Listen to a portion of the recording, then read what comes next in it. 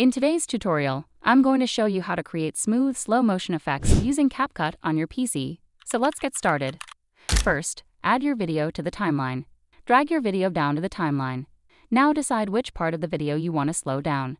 Place the playhead at the start of the section you want to slow down, right-click on the video, and select Split. Now apply the slow motion effect. With the section selected, click on Speed in the toolbar above the timeline. You'll see a speed adjustment slider.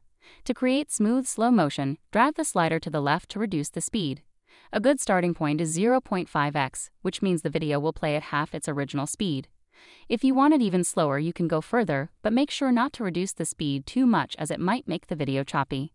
To ensure your slow motion effect is smooth, enable the optical flow option. This will help to interpolate the frames and make the motion fluid. The screen shows optical flow being enabled in the speed adjustment menu. You can use frame blending for a similar effect, though it may not be as smooth. Now play back your video to see how it looks. If it's not as smooth as you'd like, try adjusting the speed or the position of the slow motion section. The screen shows video playback and possible adjustments being made. And that's it. You've created a smooth slow motion effect using CapCut on your PC.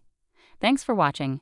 If you found this tutorial helpful, give it a thumbs up, and don't forget to subscribe to the Editing Hub for more editing tips and tricks. See you in the next video.